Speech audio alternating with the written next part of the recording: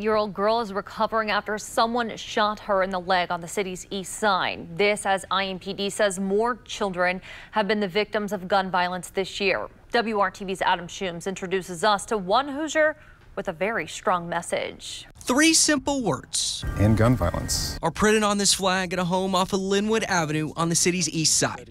Do hear frequent gunshots um, just from all directions, really.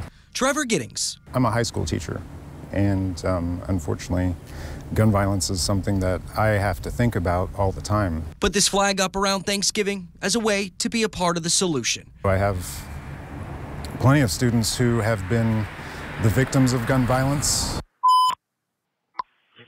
Attention East District 41, person shot. Giddings' home sits less than a half a mile away. It's going to be an eight-year-old child. From police lights and investigators surrounding this home off of East Washington Street Wednesday night. IMPD says the eight-year-old girl was shot in the leg.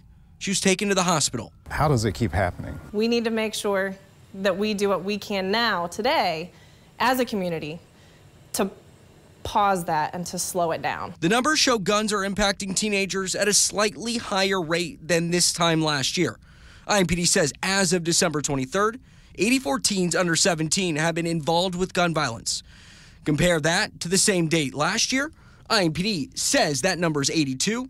Riley Hospital says they're even noticing an uptick as well. I'm tired of my students suffering the consequences of gun violence. So Trevor is hoping his flag will help bring awareness to an ever growing issue.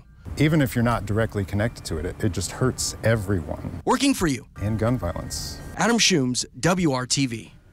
For months, WRTV has been reporting on the growing problem of kids becoming the victims of gun violence. You can read more on this urgent issue and what community leaders say needs to be done. That's on our website, WRTV.com.